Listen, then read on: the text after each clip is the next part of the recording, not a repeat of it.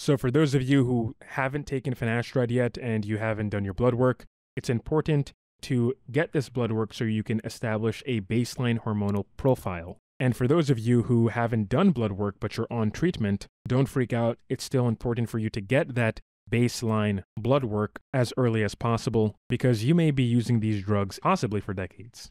So it's a great idea to establish a hormonal profile baseline as early as possible in the treatment, if not before you even start treatment. So these key markers to assess include luteinizing hormone or LH and follicle stimulating hormone or FSH.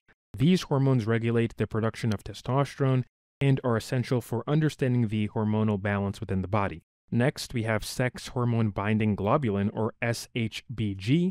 SHBG influences the availability of testosterone for the conversion into DHT, thus affecting the potential impact of 5 alpha reductase inhibitors. So, here, this is just my thoughts, but SHBG when testosterone is bound to this, it actually makes it bio unavailable, meaning it can't readily be used in conversion processes like 5 alpha reductase enzymatic activity. So, having low levels of SHBG can consequently, at least in serum, lead to higher levels of free testosterone.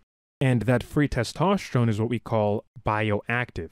So it can be used in many processes, including the conversion into DHT by 5 alpha reductase. So, this is why many times the serum DHT level isn't a perfect indicator of what's going on in the tissue.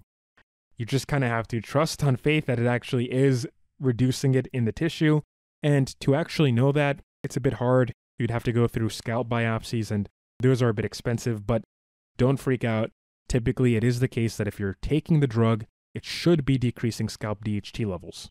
But don't get me wrong, I do think in some people this can be a particular issue. It's just that everyone likes to think they're the special case when in reality they're not, or they may just have some minor issues with this particular circumstance. But still, get SHBG levels checked as well. Next, you want to get your androgen profile checked. So the androgen profile is what we like to think of the male sex hormones, testosterone, dihydrotestosterone, androstenedione, and maybe DHEA and or DHEAS.